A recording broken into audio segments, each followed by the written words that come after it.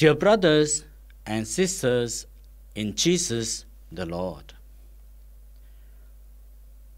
it's a great day today because it is the feast of the apostle of Jesus. Person who lived with Jesus. Person who had ups and downs while he was with Jesus. Person who witnessed transfiguration. Person who was there at the Gethsemane. Person who was there at the Last Supper. Person who was there during the ministry of Christ and knowing all that Jesus himself went through. Dear brothers and sisters, St. James the Apostle is the brother of John, and we know that John is the beloved disciple of Jesus. There has been a closeness with Jesus with these two brothers, and this is seen finally when their mother wants one to be at his left and the other one to be at his right in his kingdom. Did she understand what his kingdom meant to be?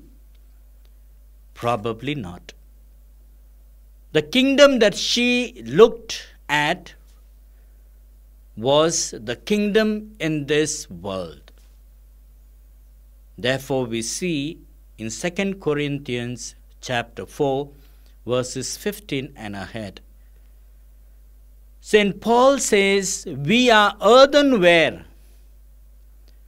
We have a very delicate structure, but we are holding the most precious jewel in us.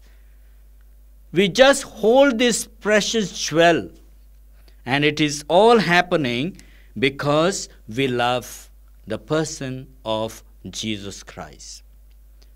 We are persecuted, we are troubled, but we are not people who are deserted. St. Paul speaks to the people the actual thing what happens to him. And we see in what Jesus is trying to tell the mother of James and John and also to these two disciples. You want to sit at the left and right? Are you ready to drink the cup of suffering which I am going to drink? And they willingly say yes. Of course, James was the first among the apostles to be martyred for Christ. King Herod Agrippa I brutalized him in order to please the Jewish people. My dear brothers and sisters, dying for Christ is the most primary thing in our lives to be a Christian. And we see in the life of the disciples, the lovers of Christ, and people who have built up total affinity and commitment to Him. James, being the apostle, who was ready to drink the cup, is told that the one to be at my left and right is decided by my Father and not me. So we are to do the will of God in order to enter into the kingdom of heaven.